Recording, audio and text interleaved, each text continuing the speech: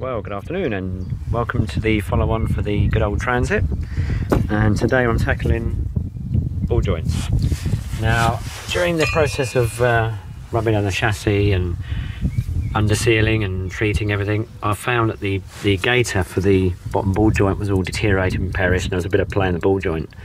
So, in preparation, I soaked these bottom three bolts under here and I've removed the strut bolts from the hub to give me a bit of room to get a, a socket on the top nut on top of the ball joint to crack that off just to make life a bit easier. And then I'll just clean all this up give this a bit of a, a rub down and get rid of all the flaky rust. But um, generally to get these ball joints out they can either go straight forward or be a pain. So trick is soak them well with some penetrating oil leave it for a couple of days.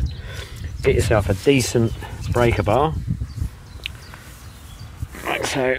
Which does help bit more leverage just enough to crack them off and away you go. So um, I've just got this bar on there now so let's see how we get on and hopefully crack this uh, crack this bottom ball joint out. Okay the top nut on top of the ball joint is very tight and uh, as you can see it just snapped my extension bar. And uh, okay well let's get another bar. At last the nut is off.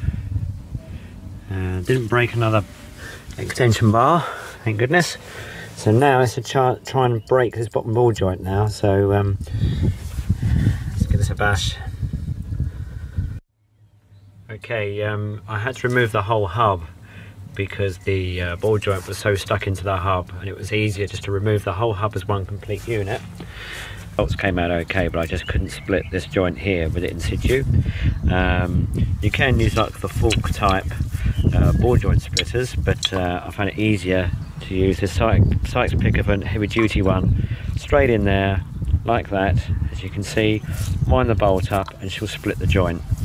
I've already done this one as you can see and yeah a couple of turns pulled it straight out no problems just gonna go get the hub a quick clean up anyway and uh, clean up the area ready for the new ball joint to go onto. So uh, yeah looking good so new ball joints in and I'm going to swing the hub round put the track rod back on then put the strap back on and then tighten it up put the caliper back on and job done okay the bottom ball joints all on track rod ends all on and she's ready to rock and roll so the trick with these is if you know if, if you have trouble splitting it down, it, it's no hardship to drop the drop the whole hub off. Literally the four bolts um, here holding the the strut on. Take those off, track rod end off, caliper off, and then you can just lift the whole hub hub completely off.